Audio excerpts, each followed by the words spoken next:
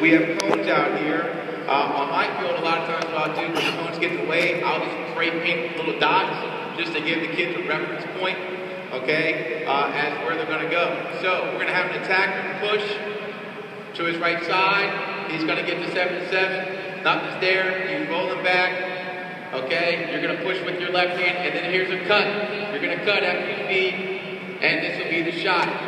Boom, shot. Next person goes. So we should have another person in this line. We should always have people this line. So once the shooter, the shooter's going to go to that line. The, that attack will rotate like that. So that's how it will work. Okay, but we need one more person over here so we're not, um, so we can fill that line. We need one more person over here. Okay, so let's walk through it. Push to your right. Ready, go. Push to your right. Nothing's there. Roll back.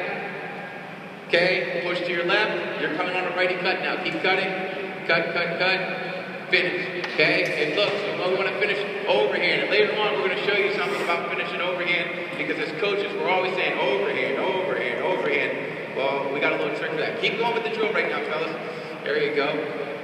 Call his name. Call his name. Push.